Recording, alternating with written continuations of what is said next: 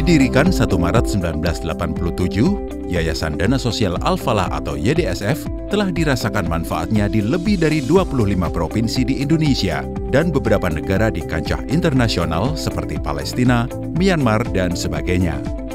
YDSF yang dikukuhkan menjadi lembaga ambil zakat nasional oleh Menteri Agama Republik Indonesia dengan SK nomor 523 tanggal 10 Desember 2001 menjadi entitas yang menaruh perhatian mendalam pada kemanusiaan yang universal. Izin tersebut harus diperbaharui setiap lima tahun sekali. Alhamdulillah, YDSF telah mendapatkan pembaruan izin menjadi Lasnas melalui keputusan Menteri Agama Republik Indonesia nomor 12 tahun 2022. Mengetahui kebutuhan umat yang semakin kompleks, kami menambah jangkauan kemanfaatan dengan menjadi lembaga Nasfir Wakaf Harapannya, semakin banyak pilar-pilar yang mendukung pemberdayaan dan kemajuan umat.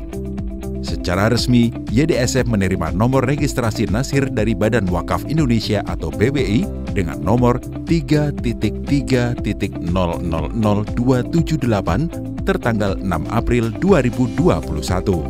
Melalui program-program terbaik yang dikemas dalam lima bidang garap, yatim dan pendidikan, dakwah dan masjid, sosial kemanusiaan, dan wakaf.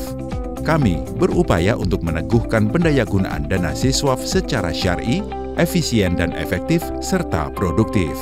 Sehingga lebih dari 300 ribu donatur dengan berbagai potensi, kompetensi, fasilitas, dan otoritas dari kalangan birokrasi, profesional, swasta, dan masyarakat umum telah terajut bersama YDSF membentuk komunitas peduli duafa.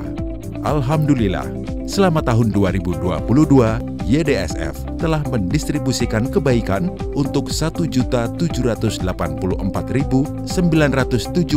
orang penerima manfaat dan 652 lembaga atau komunitas yang terbagi menjadi 20.105 orang dan 283 komunitas lembaga penerima manfaat di bidang pendidikan. 15.561 orang dan 5 komunitas lembaga penerima manfaat di bidang yatim, 1.155.643 orang dan 155 komunitas lembaga penerima manfaat di bidang dakwah. 388.948 orang dan 189 komunitas lembaga penerima manfaat di bidang masjid.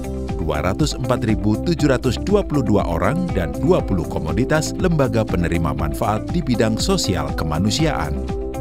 Jumlah tersebut telah meliputi sebaran kebaikan selama Ramadan dan Kurban 2022, meliputi 53.805 penerima manfaat selama Ramadan, serta 35.835 penerima manfaat kurban kambing dan 18.861 penerima manfaat kurban sapi.